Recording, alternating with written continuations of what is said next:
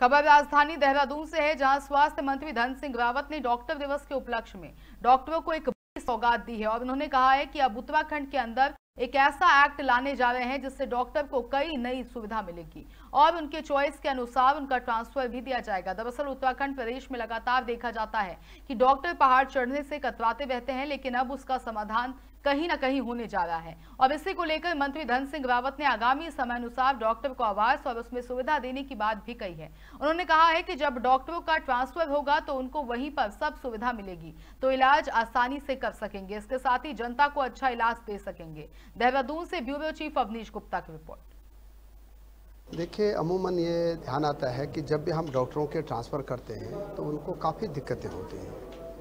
तो अब हम एक नया एक्ट ला रहे हैं डॉक्टरों के लिए कि डॉक्टरों को उनकी चॉइस के अनुसार स्थान देंगे।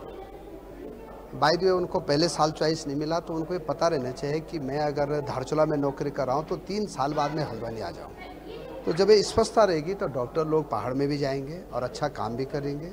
और डॉक्टर डे पे बड़ी सौगात हम उनको दे रहे हैं। वी साहब की अध्यक्षता में कमेटी गठित की है कि डॉक्टर्स को जब भी वो किसी भी हॉस्पिटल में जाते हैं, उनका जब ट्रांसफ़र होता है या ज्वाइनिंग होती है तो उनके लिए आवास भी वहाँ पे हो जाए, उनके लिए सारी व्यवस्था हो जाए ताकि वो अच्छा से वहाँ पे मरीजों को देख पाएँ।